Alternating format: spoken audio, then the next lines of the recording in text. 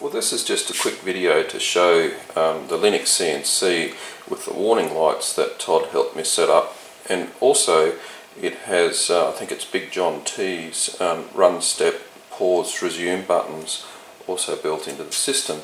So at the moment Linux CNC is turned on and um, I'm just going, and it's out of e-stop mode so I'm just going to put it into e-stop and you'll see that the red light comes on. So I'll take that out um, by default Linux CNC doesn't come out of e-stop mode when you um, turn on the um, when you release the external e-stop and you need to reset it on the computer.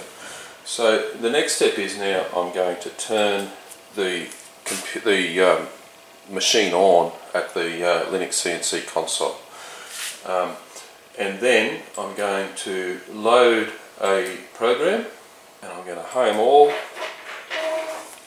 it's now homed and I'm going to run that program using this button here. You may hear it in the background, it's running. And the trick that Todd helped me do, you can see that the orange light has come off now. And the thing that Todd helped me do was the uh, pause button here. So by pressing the pause button, now the green light is flashing.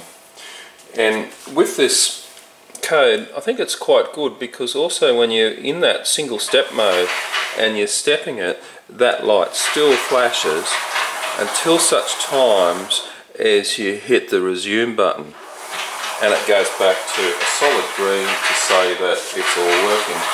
So the purpose of this code is to um, um, eventually get that up onto a light mast. So if you uh, have a look at things called stack lights, there'll be a nice little um, traffic light system that's up there.